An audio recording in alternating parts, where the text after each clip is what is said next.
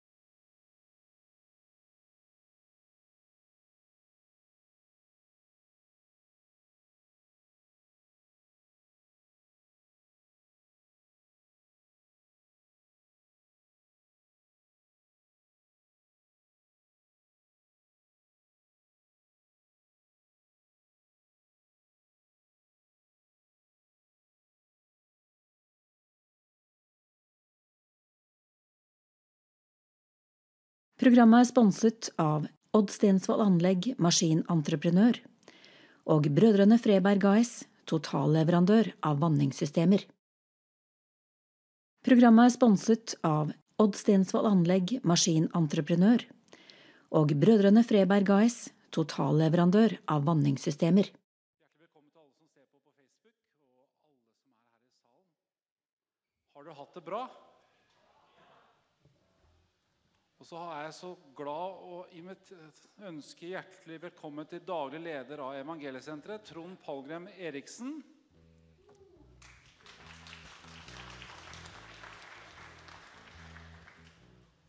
Og Jostein Kirkenes med team.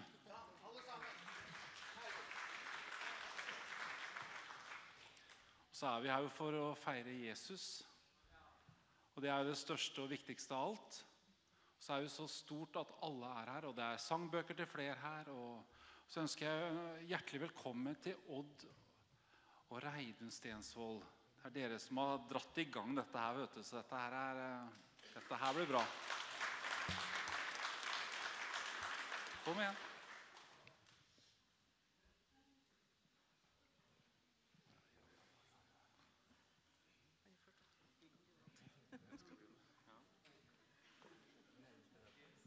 Oi, oi, oi, oi. Det her var flott å se. Her skulle dere stått. Hjertelig velkommen alle sammen. Det her har vi gleda oss veldig lenge til. Og grua oss. Men eh, det har vært utrolig moro å få lov til å rigge til dette. Og liksom når vi kan få lov også å få de her vennene våre på besøk. Det er eh, veldig fint å ha de her. Så eh, vi koser oss veldig. Jeg har lyst til å lese ett ord. Dette kommer litt sånn fort på, men eh, For jeg er Herren din Gud, som holder deg fast ved din høyre hånd, som sier til deg, frykt ikke, jeg hjelper deg. Når jeg er svak, så er han der og holder meg i handa så har vi et mål at vi en dag skal komme hjem. Og at han vil holde meg i handa til jeg er hjemme. Så nå har vi laga ramma rundt dette denne helga. Så da må han fylle den ramma. Må, være, må vi ha Jesus i sentrum. Det er så godt å være frelst og være på vei til himmelen. Vær så god, Reidun. Får du si litt?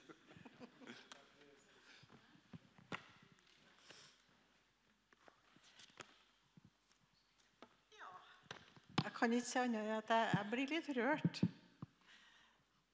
Det har jo vært eh, bønna vår og tanken vår rundt det her at det måtte komme mange. Og at det måtte bli noen frelst. At det måtte bli noen som fikk fornya livet sitt i Jesus. For det er fort å bli liggende etter i den verden vi lever i. Det er mange stemmer som roper på oss, som vi har og sitter og opptatt med ditt. Det er ikke bestandig så godt. Derfor er det så fint at vi kan samle oss. Ehm, før det her, her eh, Vi har jo holdt på en stund å forberede. Og jeg skulle dele ut plakater, eller henge opp plakater i butikkene. Og det, jeg har liksom ikke så lett for å spørre, da. Men så tenkte jeg, så snakka med Odd og så sier jeg vil ikke åpne de dørene her før at jeg vet Jesus er her. For ellers er alt forgjeves. Og så kom eh, to korte ord til meg. 'Jeg er'. Og da var jeg sikker. Da kunne jeg gå rundt. Da fikk jeg frimodighet. Fordi jeg vet at han, når han sier 'jeg er', så er det den mektige, alle steds nærværende Gud. Og hva har vi å frykte da? Så vil jeg lese noen, noen vers fra Esaias 45, fra vers 18. Nå briller jeg også, vet du. For så sier Herren som skapte himmelen, han er Gud, han som formet jorden og dannet den, han som har grunnfestet den, han som ikke skapte den til å være uformet, han som formet den til å være bebodd. Jeg er Herren, og det er ingen annen. Jeg har ikke talt i det skjulte på jordens mørke sted. Jeg sa ikke til Jakobs slekt, søk meg forgjeves. Jeg, Herren, taler rettferdighet. Jeg kunngjør de rette ting. Samle dere og kom. Kom nærmere, alle sammen, dere som har sluppet unna fra folkeslagene. De mangler kunnskap, de som bærer sitt utskårne bilde av tre og ber til en Gud som ikke kan frelse. Fortell og legg saken fram. Ja, la dem rådslå sammen. Hvem har forutsagt dette fra den eldste tid? Hvem har fortalt det for lenge siden? Er det ikke jeg, Herren? Det er ingen annen Gud foruten meg, den rettferdige Gud og Frelseren. Det er ingen foruten meg. Vend dere til meg og bli frelst, alle jordens ender. For jeg er Gud, og det er ingen annen. Jeg har sverget ved meg selv fra min munn. Har rettferdighetens ord gått ut? Og det skal ikke vende tilbake. For meg skal hvert kne bøye seg, og hver tunge skal avlegge ed. Han skal si, bare i Herren har jeg rettferdighet og styrke. Til ham skal de komme, og de skal bli til skamme, alle de som brenner av harme mot ham. Det er i Herren de skal bli rettferdiggjort, og hele Israels slekt skal rose seg. Jeg tenkte på denne boka. Det er eh, den eneste boka som finnes i hele verden som har levende ord inni seg. Og ordet, står det, det er skarpere enn noe tvega sverd. Det kløyver ledemod og marg og deler hjertets innerste. Ja, jeg sa det kanskje ikke helt riktig, men ja. Og det er sånn når hjertet er kløyvd, så får vi se synda vår. Men samtidig så får vi se Jesus. Og han har fullbrakt et verk for oss, og det står fast til evig tid. Gårsdagen, dagen i dag og hele livet vårt. Så skal vi få lov til å vite det at det Jesus har gjort, det gjelder. Og jeg er så glad for det. At jeg har fått lov til å se inn i det levende ord. Han som har fullbrakt et verk for oss. Det er eh, Og så er det ikke med forstanda vi skjønner det. Det syns jeg òg er litt greit, ja da. For det er med hjertet vi tror. Det er med hjertet det går opp for oss hvem man er. Så jeg håper vi får en velsigna ettermiddag. Hvor vi sitter med åpne hjerter. At vi kjenner på at vi er glad i sidemann. og at vi kan være flinke til å si og oppmuntre hverandre på veien. For vi trenger det. Vi trenger ikke å snu ryggen til hverandre. Vi trenger å være glad i Jesus, sånn at den gleden smitter igjen. Sånn at vi kan få velsigne hverandre. Amen. Tusen takk, Odd Reidun. Kjempeherlig å være her. Sånn eh, praktisk helt til å begynne med. Et toalett bak der, og så er det et toalett ute. Og så er det litt sånn artig, da, for at eh, jeg får kjøpt grillmat etterpå. Og det går uavkorta til evangeliesenteret. Så det støtter en god sak mens dere spiser mat. Det må jeg si er bra. Så her kan du spise med god samvittighet. Det syns jeg var stort, da. Da, da får du sette i gang, Jostein. Ja. Så sitt med forventning. Hvis det er flere fra senteret som vil være med, så kommer du opp med en gang. Dere, vi har delt ut ei bok. Er det enda flere som ønsker bøker? Rekk opp ei hånd, så får du en bok her nå. Der, ja. Rekk hånda høyt i været. Det er den som ber, som får, vet du. Der, ja. Sånn. Det er bra, skjønner du. Vi skal synge sangen som står på nummer 100 i boka di.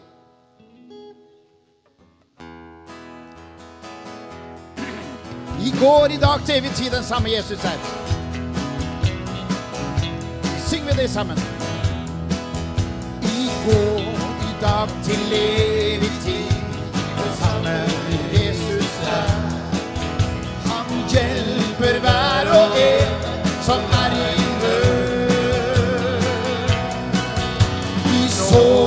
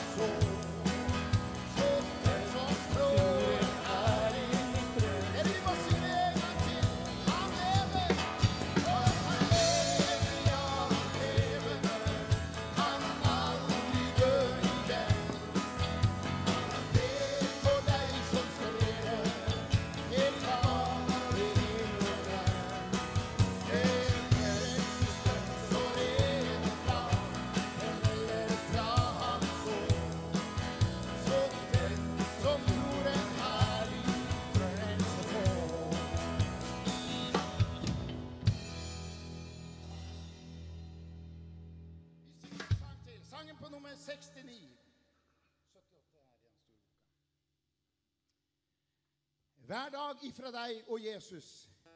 Det er alt som jeg ber deg om. Så må jeg ha sånn skikkelig allsang. Jeg så dere sang nå. Det var veldig bra. Og du som sitter og følger med der, du må også synge i sammen med oss. Mm. Hver dag ifra deg og Jesus.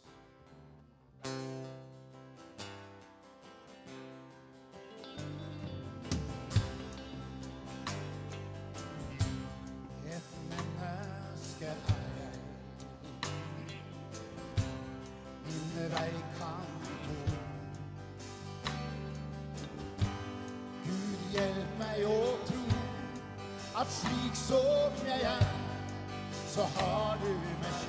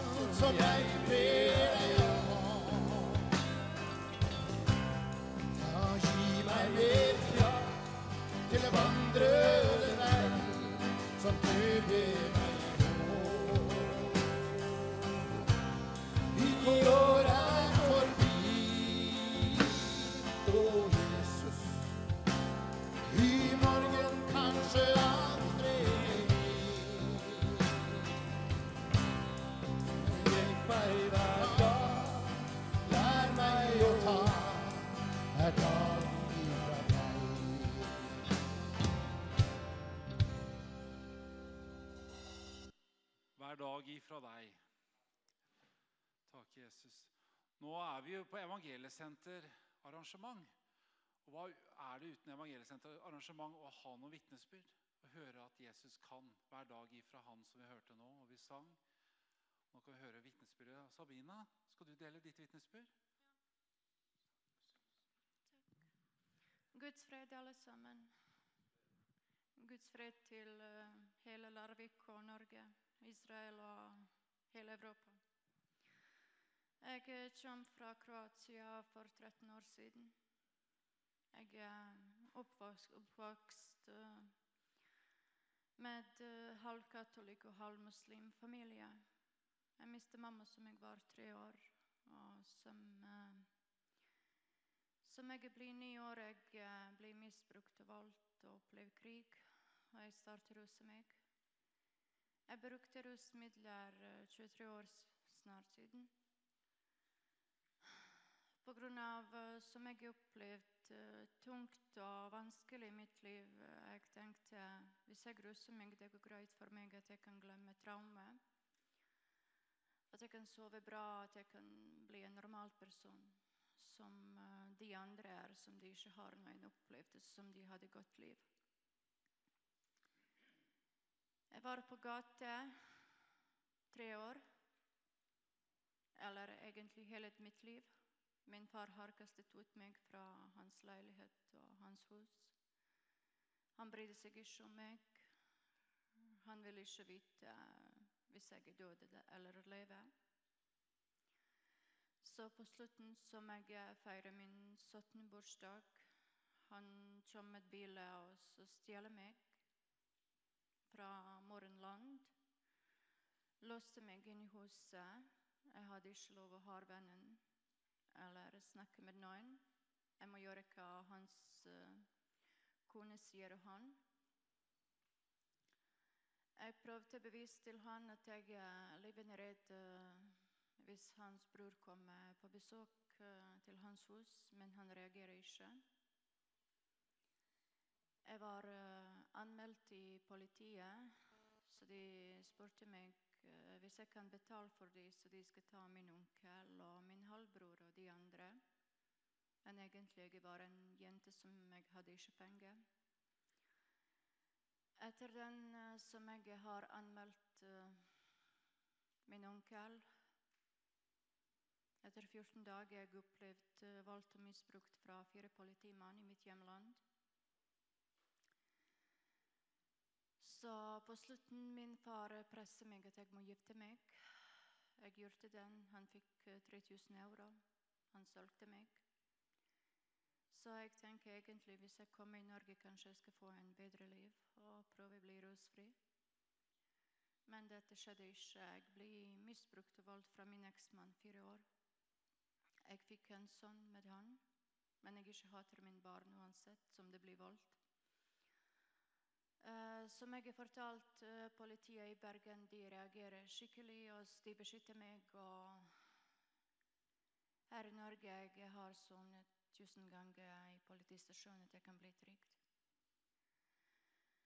Og på slutten som de spurte meg, uh, hvor er de som de har misbrukt deg, spesielt din onkel og din halvbror, så jeg sa dessverre de er i mitt hjemland.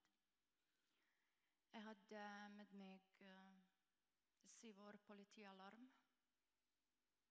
Uansett hvis det noen kommer krangling eller skriking, jeg trykker på den, og de kommer med blålyset. Så jeg tenker Så sa jeg til de kanskje jeg skal prøve uten den. Hver eneste dag hvis jeg går i byen, på min telefon står NN2-nummer. Hvorfor er det? Jeg kan bare ta og trykke på og ringe dem. Så jeg, eh, jeg var lei meg som jeg ruste meg. Jeg, ble, jeg var i en kristensenter, Rusomsk nappene. Jeg bodde der to år. Jeg mistet min kjæreste. Han døde pga. heroin. Jeg klarte ikke mer. Jeg sa til dem det er ikke mitt plass. Min hjerte står at jeg vil komme på evangeliesenter. Dere er ikke så flinke som de er flinkere med mennesker. Så de sa nei, dette går ikke, du har ikke lov å gå der. Og så en dag jeg står på gangen som det var eh, kontoret på de. Så de sa hvis hun reiser herfra, vi får fra hennes Nav 36 000 for en måned i dag, så jeg, får ingen hjelp. Og så de flytter meg til Ålesund, i en andre senter som de har. Så en mann blir voldt mot meg. Eneste som jeg gjorde, jeg ringte politiet. Så de kjøpte billett til meg at jeg kan komme tilbake i Bergen. Og jeg gikk på straksen og stukte til og så gikk jeg på sykehus. Og så kom jeg etter tre dager ut, og så kom jeg igjen og sta overdose. Så tenker jeg jeg driter meg sjøl, driter mitt liv. Ingen bryr seg om meg, ingen, ingen tenker på meg. Så på slutten mine kristne venner som jeg hadde en måte på Knarvik å gå hver neste søndag, de sa ja, du ser ikke bra ut. Ja, men hva skal jeg gjøre? Hvordan dere skal hjelpe meg? Ja, du kan komme på søndag på en måte. Og så jeg gjorde den. Jeg hoppet inn i buss, jeg hadde ikke penger å betale for billett. Så som jeg var på den måten Jeg, eh, jeg føler at eh, Gud vil at jeg bøyer meg i kne. Så jeg gjorde den. Og eneste som er gruppe Jeg vet at du er sint på meg, Jesus, som jeg gikk fra din veien, men du vet hva jeg lytter. Hvis du vil rense mitt liv, send meg postebo. Jeg vil til evangeliesenter. Og jeg har sagt sant til dem. Hvis jeg eh, bor her i Bergen og så går til eh, rehabilitering, jeg skal rose meg, jeg skal stikke, jeg må vekk fra Bergen. Så jeg vet jeg ventet syv dager, så jeg fikk svaret 27. mars til å gå på Porsgrunn. Og jeg har opplevd masse kjærlighet på Porsgrunn. Jeg føler meg velkommen. De ber for meg og alt. Og jeg vil gi stor pris til de mennesker som jobber på Evangeliesenter. Uten de kanskje jeg blir ikke leve i dag. Uten de kanskje jeg ikke stå her. Uansett som jeg kan ikke betale for min dekning. Den mannen som sitter der, Kjetil, han sa jeg har ikke hjertet kastet deg ut til du døde. Du skal være her, uansett, uten, som du kan ikke betale. Tusen takk for den. den jeg, jeg vil, det er en så stor gave for meg.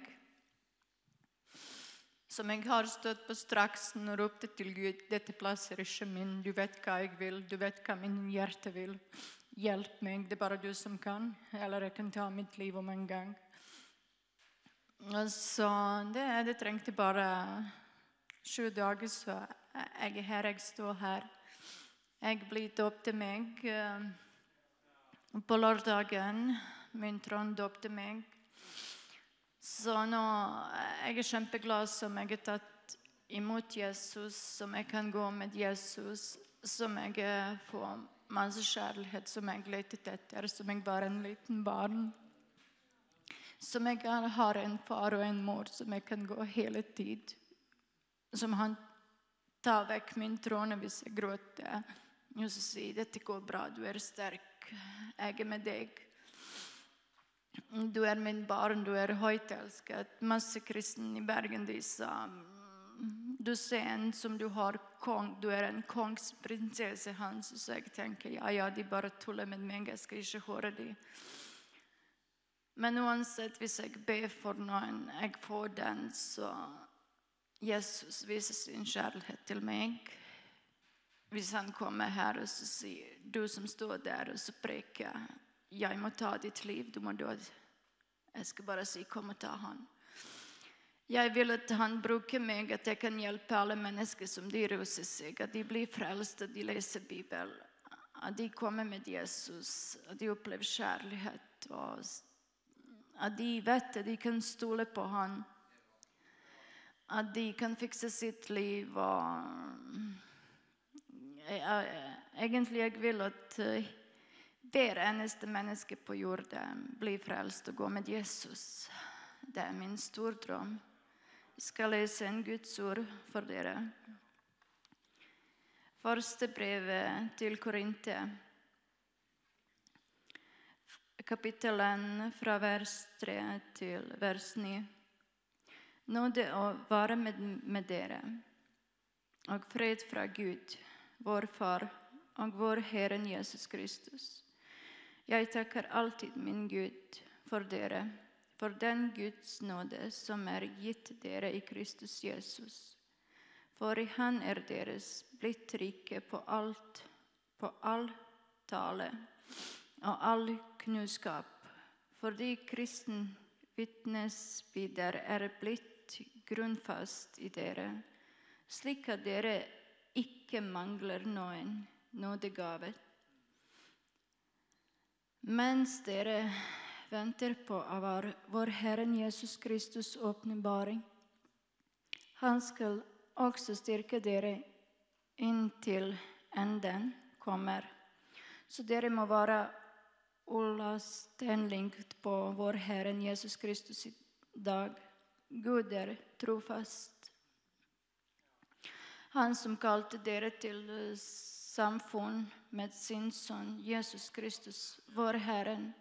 Jeg skal bare si en til kort.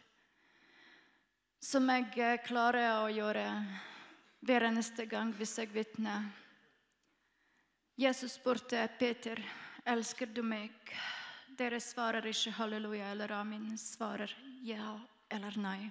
Men jeg skal si fra hele mitt hjerte, uansett hva som skjedde med meg, jeg elsker min Jesus, og jeg skal elske han hele mitt liv. Amen. Takk for meg. Takk, Sabrina. Det var godt. Vi elsker Jesus. Må vi få en ordentlig Jesus-sang her, Jostein? Ja. Vær så god. Jeg tenkte på et lite kor når jeg hørte hun Vitte her sånn. Og det lille koret, det tror jeg du kan, og det er sånn som det her. For jeg er ren, jeg er ren Jesu blod. Jeg er ren, ja, jeg er ren, jeg er ren ved Hans ord. Ingen anklage, ingen anklage kan nå meg. Ingen fiende kan slå meg, for jeg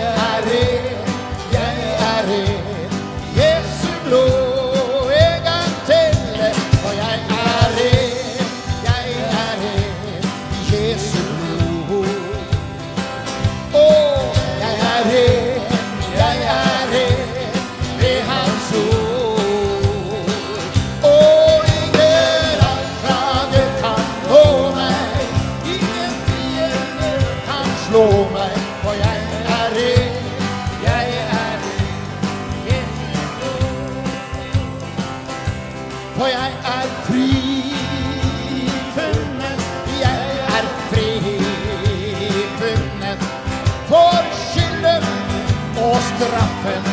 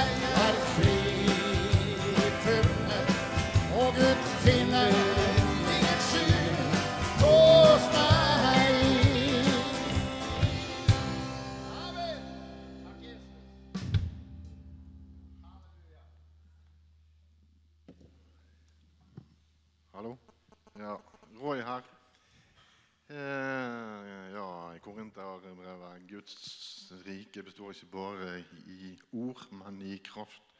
Takk og lov. Eh, Jeg har bare lyst til å lese litt fra noe som jeg delte i går på, på samling på Østerbo, før jeg vitner litt. Så frykt, eh, eller Fra Jesaja 8. Frykt Herren, lyd Hans ord. For slik talte Herren til meg, og hans sterke hånd lå på meg, og han rettledet meg, så jeg ikke skulle vandre på dette folkets vei. Han sa, dere skal ikke si en sammensvergelse om at alt at dette folket sier, er en sammensvergelse. Og frykt ikke for det dere frykter for, og vær ikke redde for det. Herskarens herre, han skal lede, han skal dere holde hellig. Han skal være deres frykt, holde, ja, og han skal være den dere er redde for. Han skal være en helligdom, en snublestein og en klippe til anstøt for begge Israels hus. Som en felle for en snare for dem som bor i Jerusalem. Eh, ja. Jeg eh, kom på senter for eh, den 12. mars i år. Fem måneder og en uke siden. kom jeg på 14. Jeg heter Roy og kommer fra Bergen. 44 år. Jeg, eh, jeg har vært på Evangeliesenter før, for 21 år siden. Og jeg var, jeg var på en oase på Ekeberg og var heldig og fikk treffe Ludvig Karlsen. og der på et, en oase der jeg var en uke der. Og ble gift og fikk barn og jobbet mye offshore og land og mye. Og så eh, har jeg blitt skilt og sånt og hatt eh, et rusproblem da jeg var veldig ung. Og sånn som det. Og har hatt noen sprekker innimellom. Jeg har klart meg i veldig lange perioder. Men, eh, men det, det, var, det, er jo livet ikke så alltid like lett og sånn ute. Så jeg så jeg fikk kontakt med noen barndomskamerater som driver litt sånn motiverings- og tilknytning til evangeliesenter. Og, og uh, fikk Gud viste vei at uh, kom jeg inn på evangeliesenteret. Og det er veldig takknemlig for. Jeg har opplevd så masse fint siden jeg kom inn. Og jeg følte absolutt at det er det mest riktige jeg har gjort. Det, det betyr veldig mye for meg. Altså, det har jeg opplevd så masse fint. Det er veldig velsignelse å være på evangeliesenteret. Så takk og lov Jesus Kristus. Mm, amen. Kjempefint. Tusen takk. Nå syns jeg vi skal reise oss opp, og så tar vi noen sanger, Jostein. Kan vi ikke gjøre det? For nå har vi sittet lenge nok. Og Så får vi fokuset opp, og så lovpriser vi litt. vet du. Litt lovsang, det er alltid godt. Så vet jeg Jostein har noen sanger som svinger litt også, så blir det litt fart her. Så blir dette veldig bra.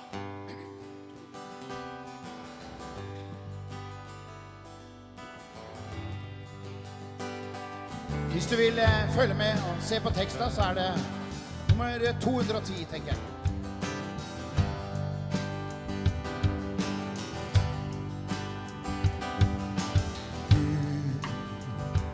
Din skjønnhet slår meg over ende.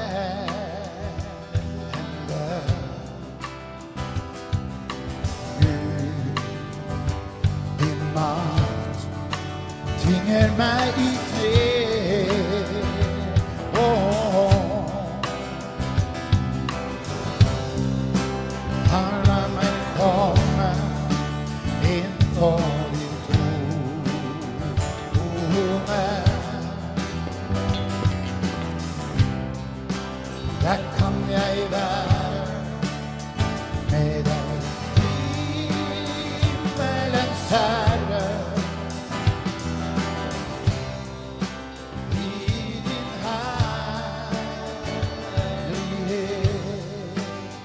så er det som denne kvinnen som måtte berøre Jesus. Og jeg kommer nå, jeg trenger meg på.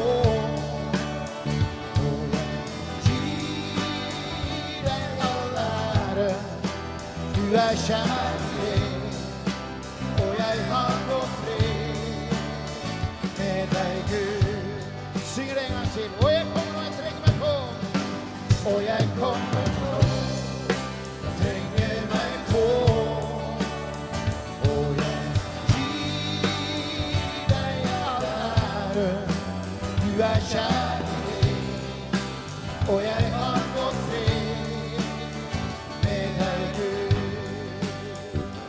Du har tallet.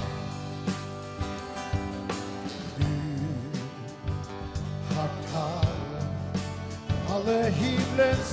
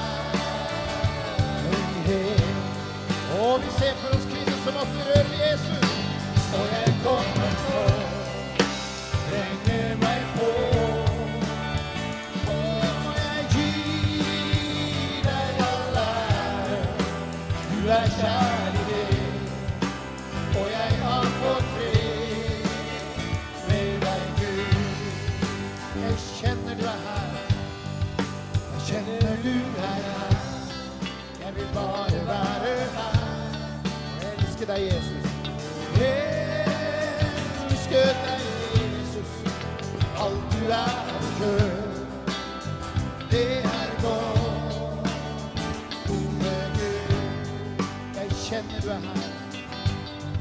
Jeg kjenner du er her. Jeg vil bare være her.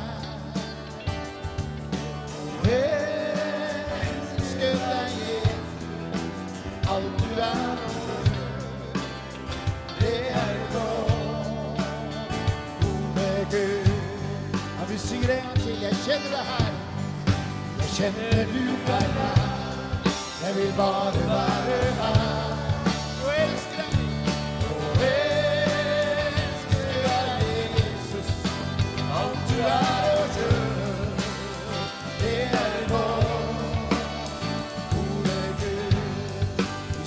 Første verset. Gud, din skjønnhet.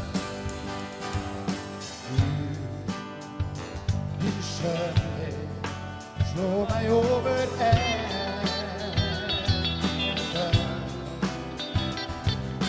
Gud, din makt, din makt, tvinger meg i kne.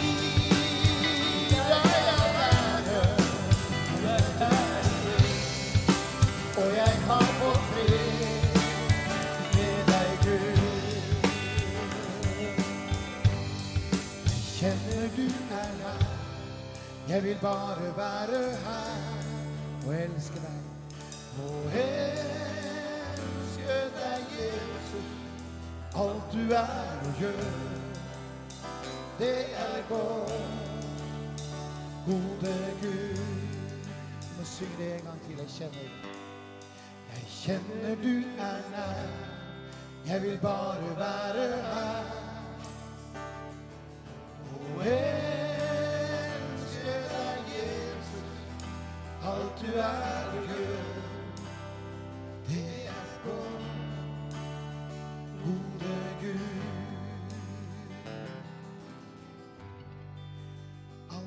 er å gjøre, det er godt. Gode Gud.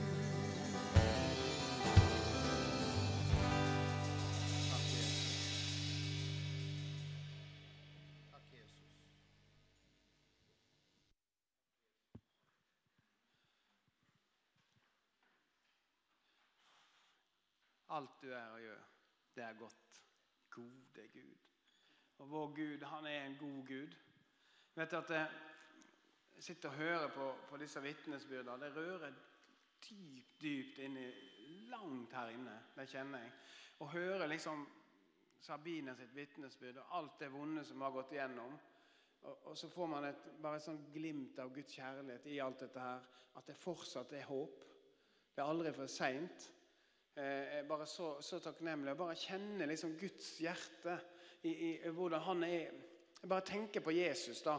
Han var liksom vi har jo lyst, alle vi som er kristne, å være som en som, som blir mer lik Jesus. Det er jo målet, liksom. Å bli mer Kristus-lik. Og jeg tenker Hvordan blir man det? Jo, han, han ga sin sønn.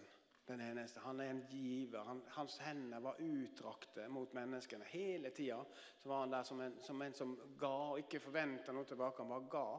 Han ga. Gud ga sin sønn, den enbårne, for at hver den som, som tror på han ikke skal gå fortapt, men har evig liv. Det er fantastisk. Og jeg bare tenker som Jesus, han bøyde seg ned. Han, han gjorde noe veldig spesielt. Han bøyde seg ned. Og, og, og, så vasket han disiplene sine føtter. Og Det var jo helt horribelt at han gjorde det. Det var noe som ikke eh, liksom Det var det laveste man kunne gjøre. Eh, og, men han sa noe spesielt. At eh, dere kaller meg herre og mester. Og, jeg, og, det jeg er det, sa han. Jeg er. sa han.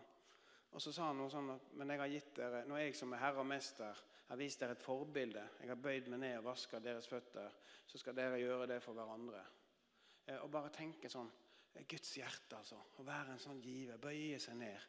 Og, og, og, jeg tenker sånn at det, Hvis vi ønsker å være lik Jesus, så skal vi også være en sånn som bøyer seg ned for andre.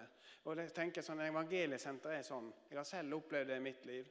At, at noen bøyde seg ned og vaska mine føtter og ga meg salve på sårene og hjalp meg. Eh, og bare tenke sånn at det er ikke Alle kan jo ikke jobbe på evangeliesenter, men alle kan få lov til å være med og gi inn i den saken. Sånn at, sånn at enda flere kan få hjelp, sånn som Sabine har fått, sånn som Røy har fått her. som Vi hørte.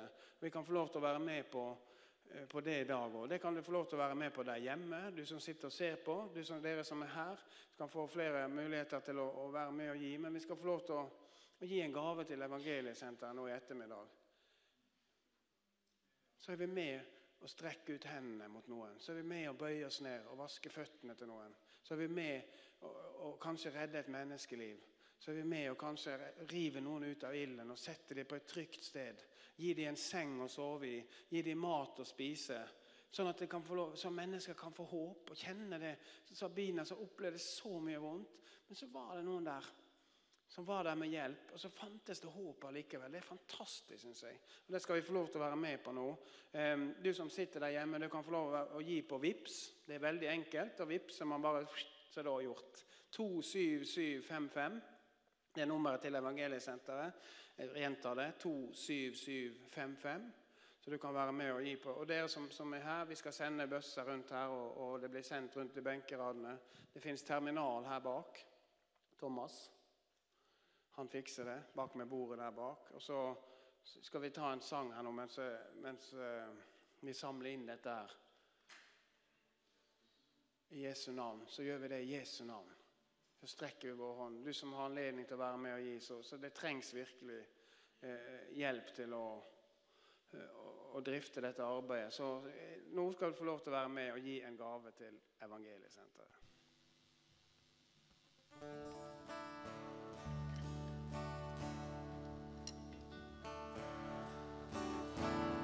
Vi skal synge en sang som heter at Gud er god hele tida. Kan du være med og synge sammen med oss? Gud er god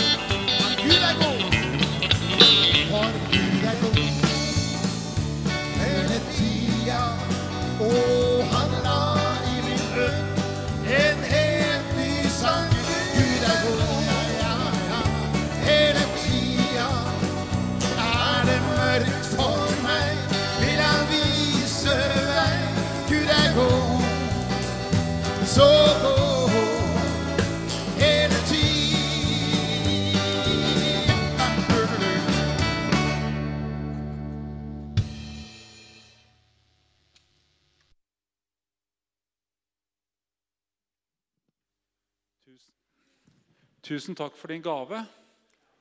Takker deg, kjære Jesus, at du ser hver eneste en som har gitt i dag til ditt arbeid, Jesus. Jeg takker at du skal velsigne det, Herre. Jeg takker at du ser også dem som ikke hadde mulighet til å gi, Herre. Du må bare velsigne dem også rikelig, far. Så legger vi resten av møtet i dine hender, Herre. Og så takker jeg deg, Jesus, at du er her. Du ser hva vi trenger. Og jeg takker at du skal være med Trond, Herre, som deler ditt ord med stor frimodighet, Herre, til en skare som hører på deg, far. I Jesu navn. Amen.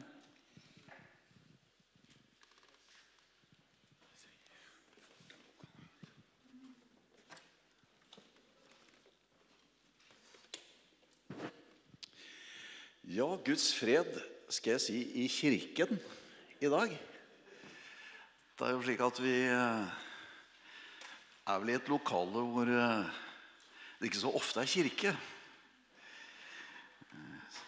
Selv om de som eier den, tror. Men eh, det sier litt om at eh, det som gjør noe til det det er, det er hva som er i det. Og eh, i dag så er eh, både to og tre og flere enn det. Mange flere enn det. Det er jo eh, veldig flott å se så mange her ute på bygda på Stensvoll i dag som tror. Og da er Jesus Kristus midt iblant oss. Nå er det nok her ellers òg, når det er andre ting på gang. Men spesielt nå som vi har samla oss for å konsentrere oss om å be til Han og prise Ham og høre også disse sterke vitnesbyrdene om eh, mennesker som har fått et forvandla liv. Og det er nok ikke hverdagskost, disse historiene. Men eh, det er faktisk en del av eh, virkeligheten og realiteten. At det er mennesker som lever i svært utsatte situasjoner. Og lever i veldig vanskelige forhold. Også til og med i Norge. Og så må jeg bare gratulere Odd med en voldsom kreativitet. Jeg var ikke klar over at entreprenører hadde en sånn type kreativitet som eh, svære hjul med blomster oppi og lys og Det meste jeg var imponert over, Odd, det var jo at du tok hele treet mer rot og jord og alt som var, og planta det inn her. Så jeg, jeg har ikke sett på maken til kreativitet. Så da tenker jeg at eh, snart er det jul, tenker jeg. Så kan vi begynne å, å pynte ordentlig opp her. Nei, det er gjort en fantastisk innsats her, og de har jo gjort rein hallen her, og de har malt gulv og slipt, og de har hengt opp og styrt. Hjertelig tusen takk for at dere gjør så mye for at vi skal få lov til å komme her og være sammen, og at vi får lov til å ha evangeliesentermøte her sånn. Og så vil jeg også si hjertelig takk for den gaven som ble gitt til dere som er her, og til dere som følger med på Facebook.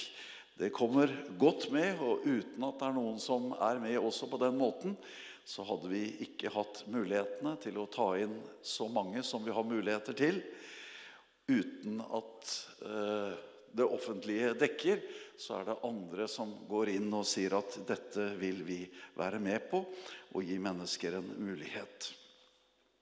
Hjertelig takk. Jesus, takk at vi kjenner at du er her allerede. Og så får du gi meg nåde en stund her. Og det vet jeg også at du gjør. Og så gir du oss alle nåde til å lengte fremover og oppover i kveld. Og at vi kan få lov til å stille vårt hjerte inn på den rette kanalen og åpne sinnet vårt. Og at du kan fylle oss bare slik som du kan. Vi ber om det i Jesu navn. Amen. I dag så har eh, Anita Hun er eh, frivillig, altså kona mi, Anita. Hun eh, ja, Det er ikke godt å vite hvem Anita jeg snakker om, men det er greit å vite at nå snakker jeg om kona mi. Hun heter Anita. Og hun jobber frivillig og leder bruktbutikken i Moss sammen med flere andre. Så hun har vært der i dag, så har jeg liksom hatt huset mer eller mindre for meg sjøl. Og det er jo fint, da. Og så tenkte jeg på møtet i dag og hva skal vi si for noe? Jeg har nettopp vært på to møter, to teltmøter. Onsdag kveld og torsdag kveld på Notodden. Og på onsdag var Jostein og senteret der. Det var full, full fart, for å si det sånn. Så fikk jeg roa meg ned, og så leste jeg min bibel, som jeg pleier å gjøre, og så fikk jeg et ord. Det var en som sa en gang vet du, Han fikk ikke noe ord, så han bare tok et. sånn. Kan han bare ta et ord også, det er jo greit. Men noen ganger så hender det at du får det, så det er jo Slipper liksom å ta det. Eh, og faktisk så utgangspunktet når jeg satt i dag og tenkte skulle forberede her, så, så er det faktisk ett ord, altså. altså jeg, kan, jeg, skal ikke bare lese det ene ordet, men jeg skal, jeg lese litt mer enn det. Men det var det ene ordet som på en måte løste ut av hel preken. ja. Og det ordet det finner vi i Matteus evangeliet. Og vi finner det i det 20. kapittelet. Og det står altså slik i det 28. verset. Og det er inn i en sammenheng da, hvor eh, det blir litt diskusjon eh, rundt dette med å, som Trond var litt inne på også, det å herske og det å tjene. Og hvilken posisjon er det vi skal innta i dette bildet her? Og da eh, sies det her i dette verset Slik er heller ikke menneskesønnen kommet for å la seg tjene, men for selv å tjene og gi sitt liv som løsepenge for mange. Og det var ordet 'løsepenge' som jeg ble hengende fast ved. Og jeg, hva, hva, hva, betyr egentlig det? Jeg har lest det flere ganger. og og så tok jeg en sånn engelsk versjon, og så står det 'ransom'. Altså Det vil si at når folk blir tatt med makt, og så krever man penger for at vedkommende skal frigis igjen, er egentlig bildet. Det ble ganske sterkt for meg. At vi har, holdt jeg på å si nesten blitt kidnappa. Det er noen som har tatt oss, og som mener at de skal beholde oss. Men du skjønner at det fins noe som kan få oss løs ut av den situasjonen. Men det vil kreve mye. Og vi vet at i verden i dag foregår det veldig mye ondt og veldig mye stygt. Det er menneskehandler, og det blir satt pris på mennesker. Vi hørte hvordan Sabina her fortalte bl.a. om det. Og hvordan noen da tar noen nære og kjære fordi at de vet at de har så uendelig stor verdi. Og så blir det satt en pris på å skulle få sine nære og kjære tilbake igjen. Her står det at menneskesønnen kom for å gi sitt liv til løsepenge for mange. Ja, det ble så sterkt for meg her jeg satt. Og det står i Johannes det tiende kapittel og det tiende verset at tyven kommer bare for å stjele, drepe og ødelegge. Jeg er kommet for at dere skal ha liv og overflod. Altså, du og jeg har en uendelig, ukrenkelig verdi. Det er noen som er villig til å gjøre alt for at du og jeg ikke skal sitte i noen annens eie enn der vi egentlig hører hjemme. Kristus, Jesus, ga seg selv som en løsepenge for mange for deg og for meg.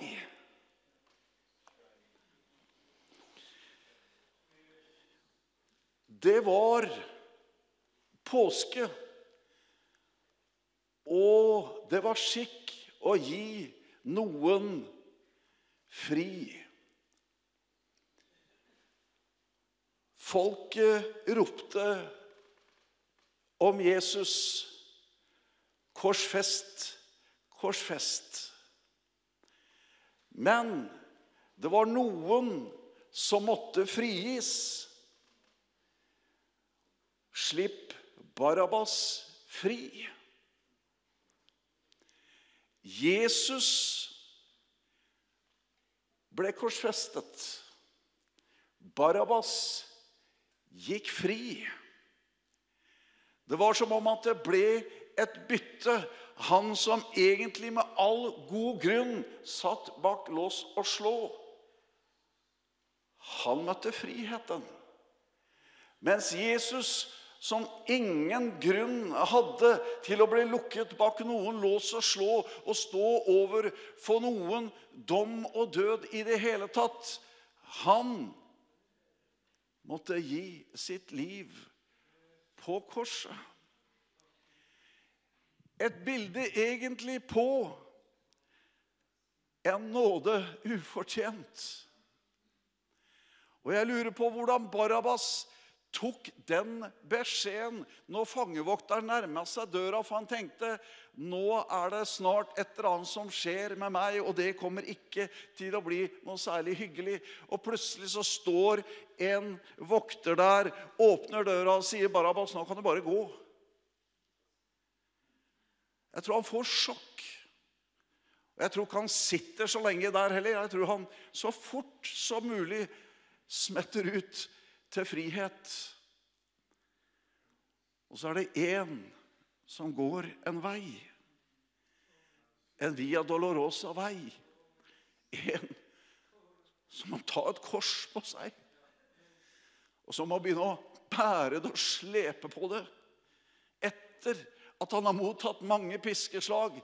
Etter at han har blitt spytta på, håna og slått.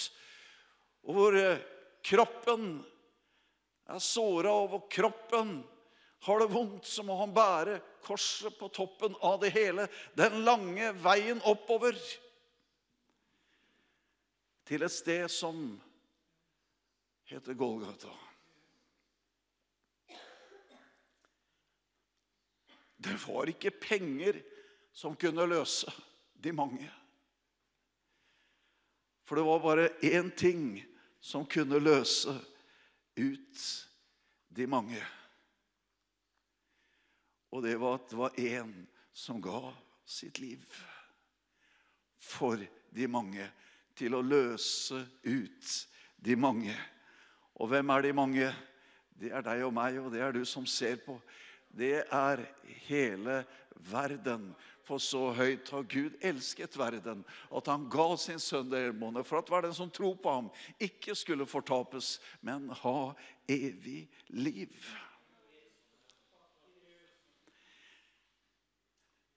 Djevelen har ikke rett til å sitte på ditt og mitt liv.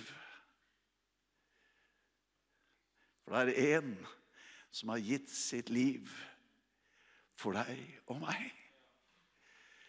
Hvorfor? Jo, fordi vi er så dyrebare. Fordi vi er så elsket.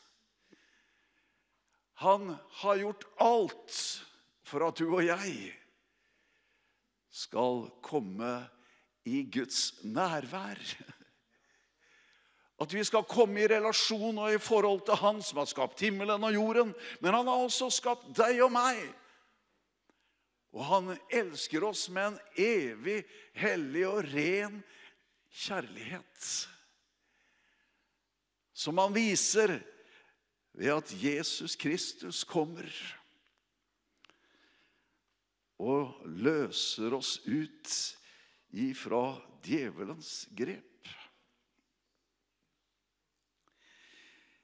I Romerbrevet, det sjette kapitlet,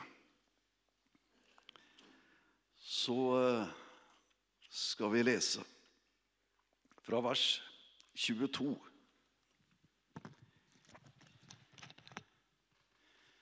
Romerne 6, 22.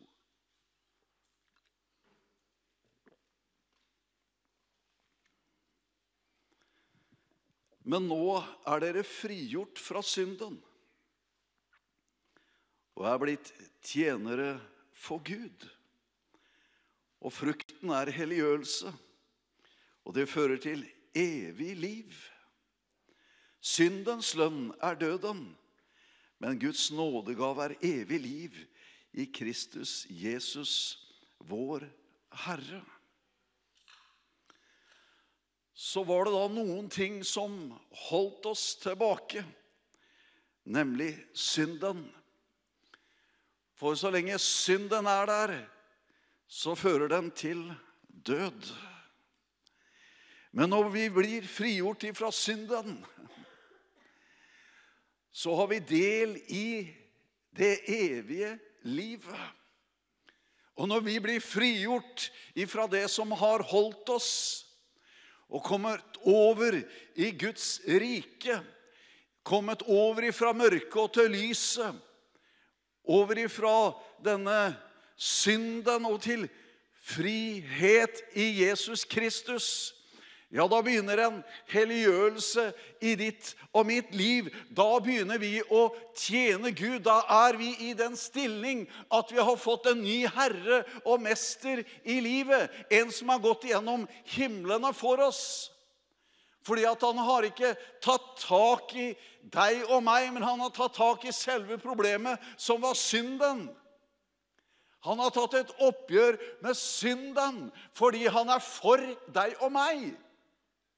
Han er imot synd, men han er for deg og meg. Så har han tatt et oppgjør med problemet for deg og meg. Synden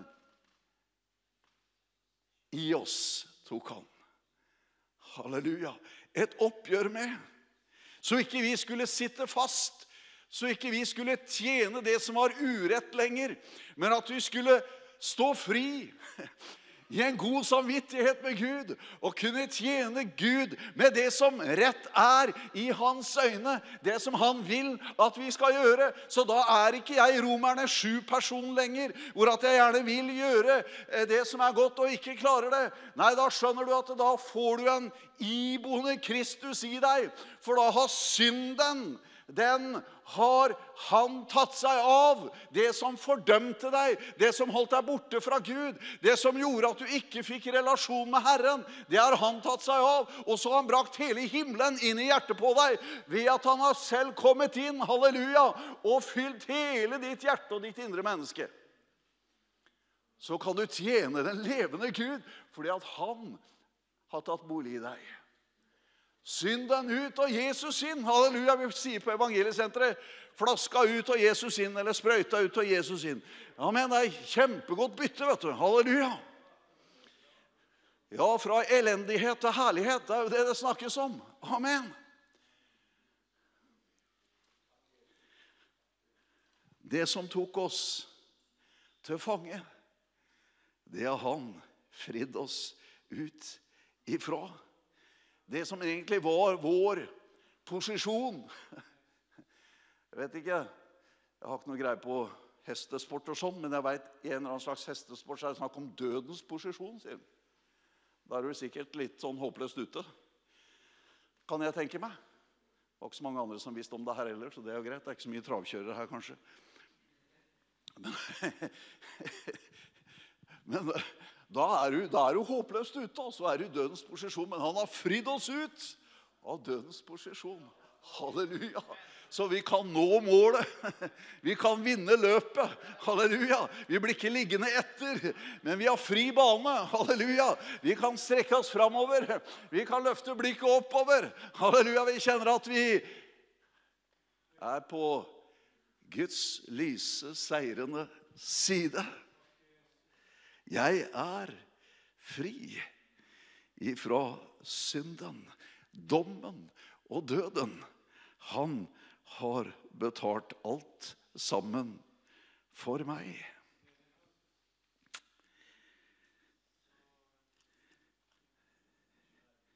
Ja, Nå vet jeg ikke om du har lyst til å si halleluja, men du kan jo slenge ut et hvis du føler for det i garasjen her. Jeg vet ikke hvor ofte det ropes det her, Odd, men det er vel av og til, antageligvis. Vil jeg tro. Men når vi først har muligheten, så bruk den, for å si det sånn. Så er du en av de som kan legge igjen et lite halleluja i garasjen her før du går. Det er bra.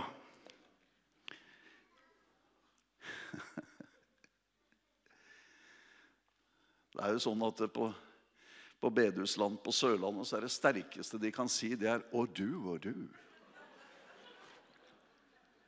Og Da er det sterkt. Da er det nesten så lutheranerne går ut av sitt gode skinn når det er 'Å, du, og du' møter. Men eh,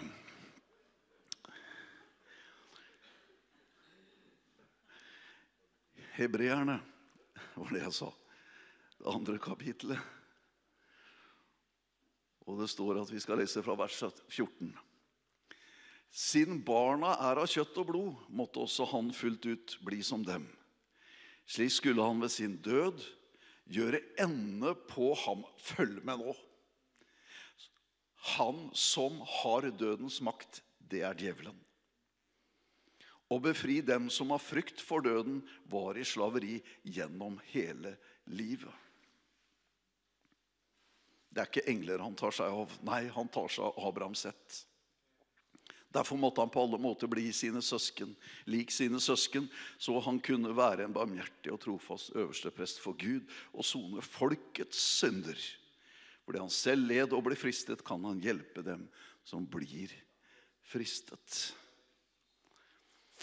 Ved sin død gjøre ende på ham som har dødens makt. Det er djevelen. Halleluja.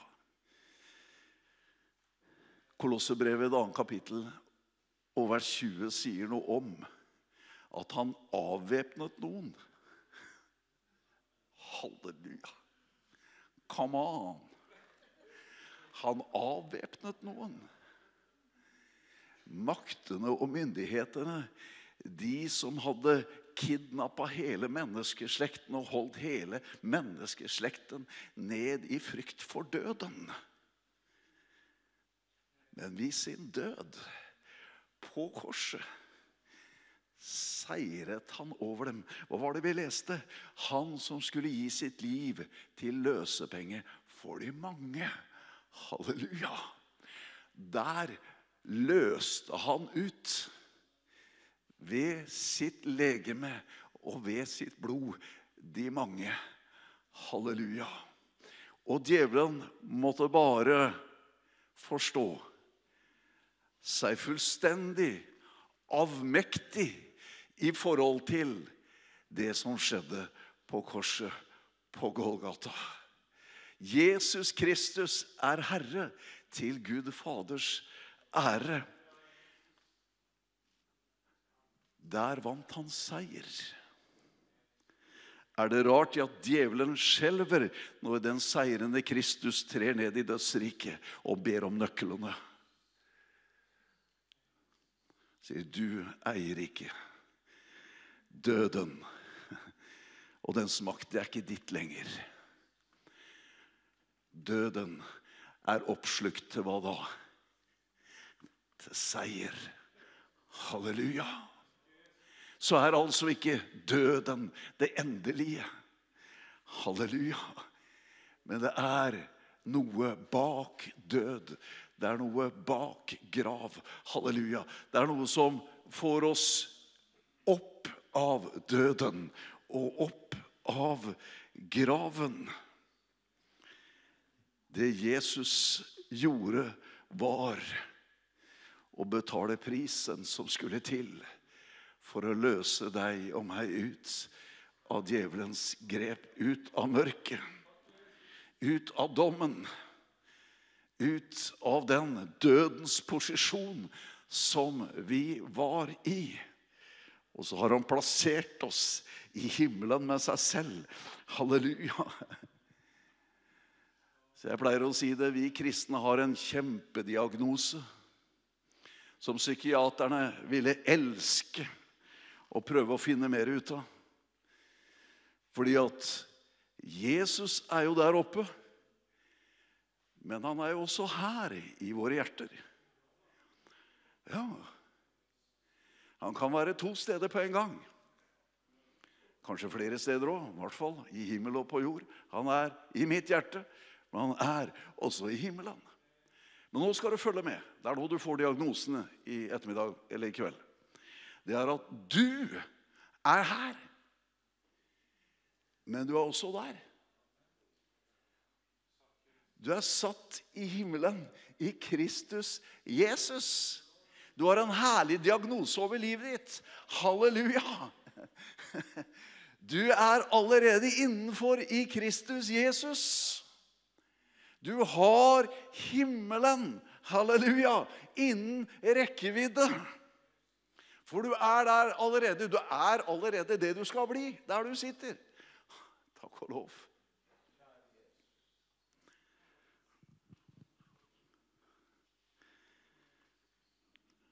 Han gjorde det for de mange.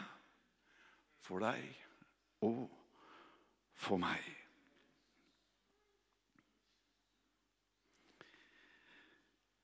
Jeg skal lese i første Korinterbrev. Jeg tenkte jeg måtte ta på meg genser i kveld. Jeg tenkte Dressjakke i tenkte jeg, det, det, det, går dårlig. Og Så tenkte jeg kanskje at ja, ja, det spørs så varmt det blir. Men jeg kan bare si det med genser. Det er varmt. Det er mer enn varmt nok. bare så det, så det er ikke noen fyringsproblemer her, for å si det sånn. Men første Korinterbrev, hva det jeg sa, og det 15. kapittelet.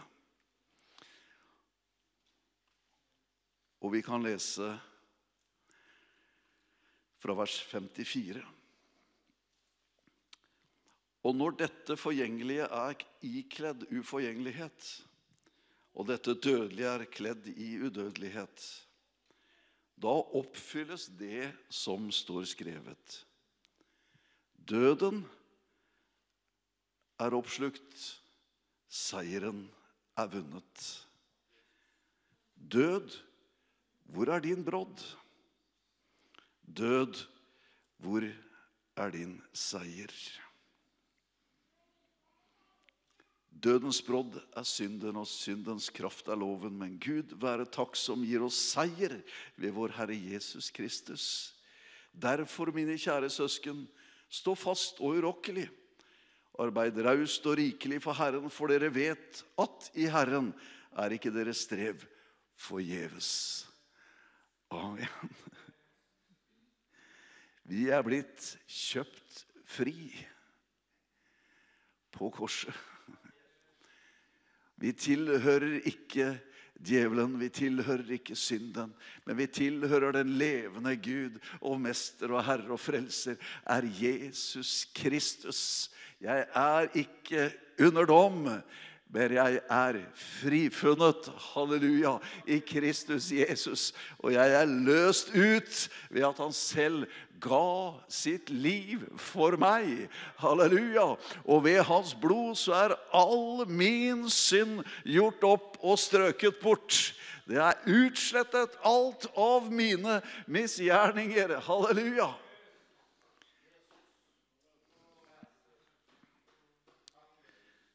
Tenk at vi hadde en som var så glad i oss at han ville få oss tilbake igjen. At det ikke slutta med Noah. Han kunne latt hele båten og alt, bare menneskeheten, bare forsvinne i havet og være ferdig med det. Men det var én som hadde en kontakt, og det gjorde at menneskeheten, den fortsatte. Og at Gud ifra sin evighet, som Efeserbrevet skriver, hadde en evighetsplan med mennesket. Halleluja! Og bringe det opp og hjem og inn i himmelen. Halleluja!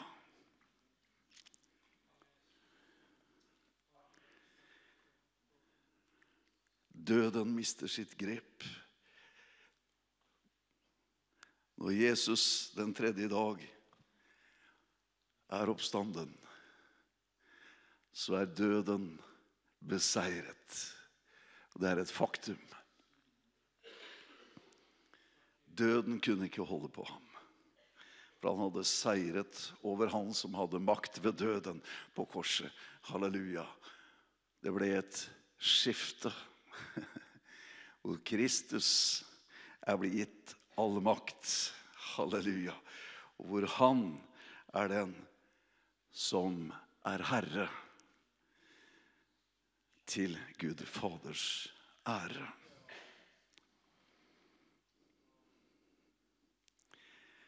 Så han holdt dom over synden i oss, som Romerne 8,3 sier. Og så vil jeg avslutningsvis sitere noe som står i Romerbrevet og det åttende kapittelet. Og jeg leste det, og jeg syns det var Jeg har jo lest det flere ganger, men det var også veldig godt å lese det i dag.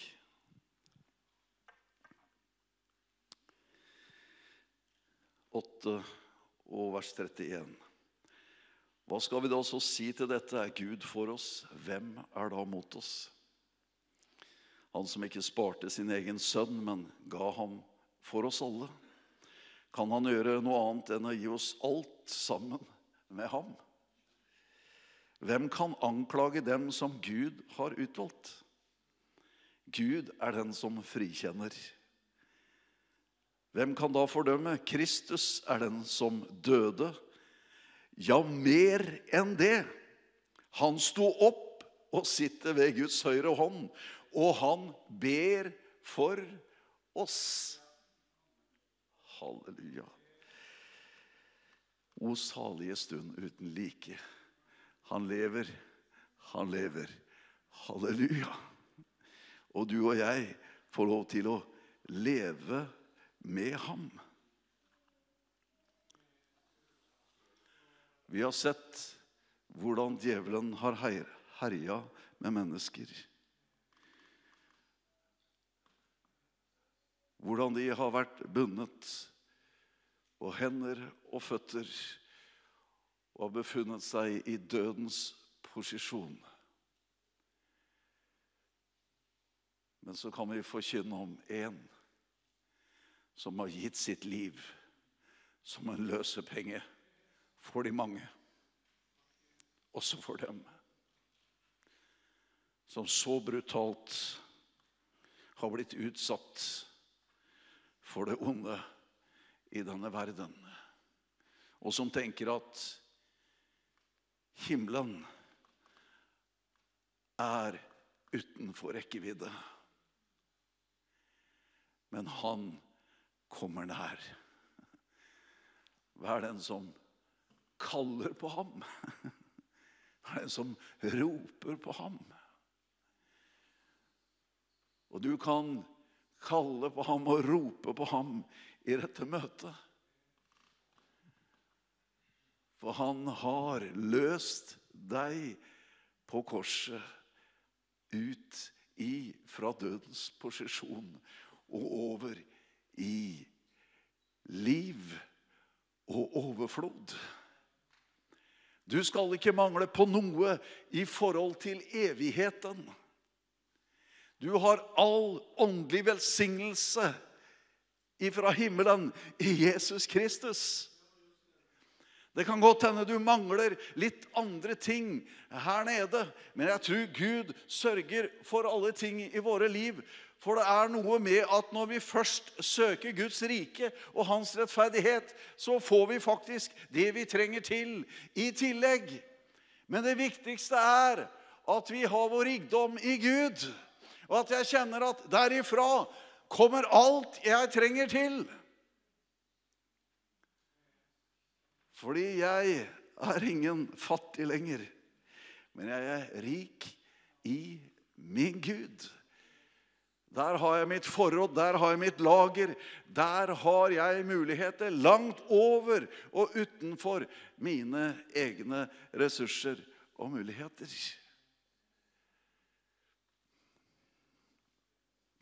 Så vil jeg du skal vite at de du ber for, dine nære og kjære, eller andre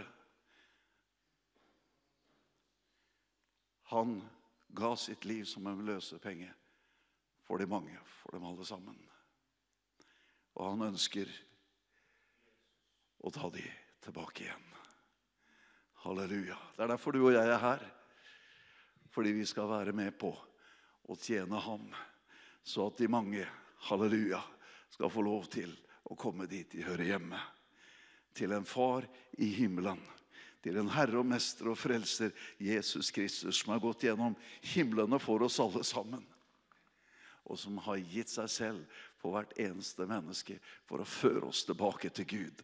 Halleluja. Det er det budskapet vi har å gå med. Og det er et salig, og det er et herlig, og det er et forløsende budskap å si til mennesker som kjenner at de er i noens makt som de ikke kan komme ifra. Men så er det en som er gitt all makt. Halleluja. Og han er sterkere enn alt som er i denne verden. Han som bor i deg og meg, er sterkere enn han som er i denne verden. Amen. Det er skifte her. Det er et skifte her. Vi er ved kraftens høyre hånd, du og jeg som tror.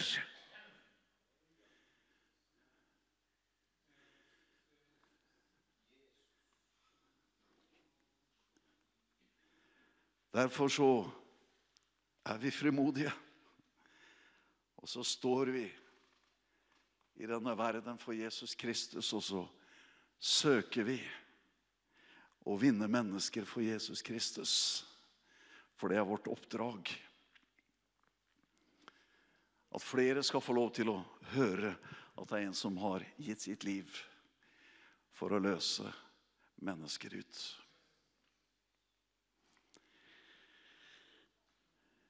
Vi skal få sang og musikk her nå etterpå, men du sitter her i dette møtet og tenker Er det mulig at det er sånn? Og jeg vil bare si til deg Guds ord er ufeilbarlig, og det er sant alt sammen. Dersom du tror på den Herre Jesus Kristus, så skal du og ditt hus bli frelst. Amen. Det er ikke bare deg, men alle de omkring deg.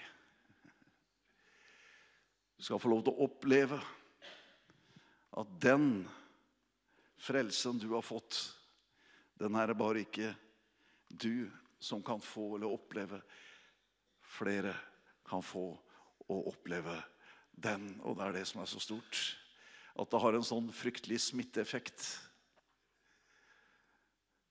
Amen. At vi kan smitte verden ved dette frigjørende, dette gode, denne relasjonen med himmelens Gud i Jesu Kristi dyrebare navn.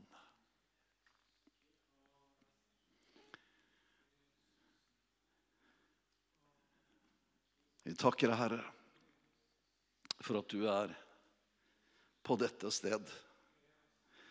Ja, du har vært mange steder opp igjennom, Herre. Men nå er du også her.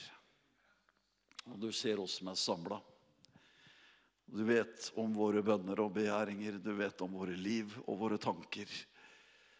Jeg takker deg først og fremst i dag for at du kjøpte oss fri. Ved at du ga deg selv for oss.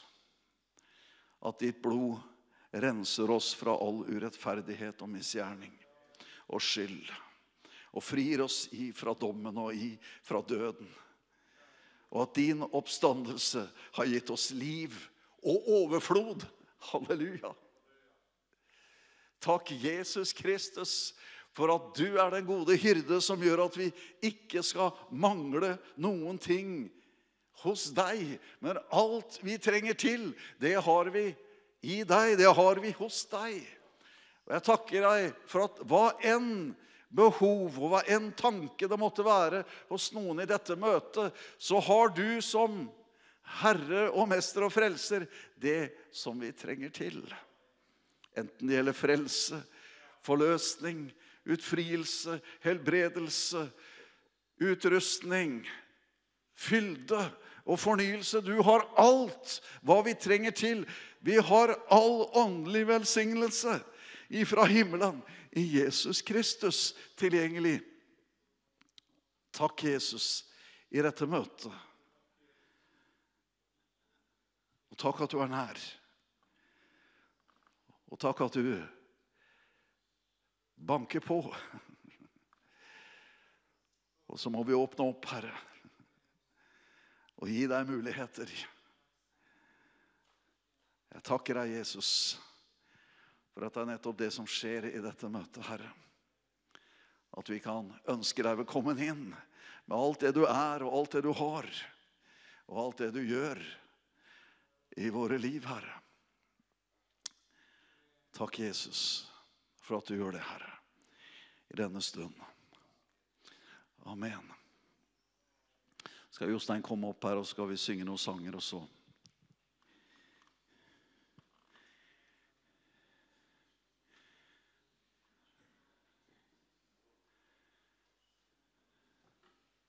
Skal vi gå til avslutning av møtet. Du hørte Odd og Reidun innledningsvis.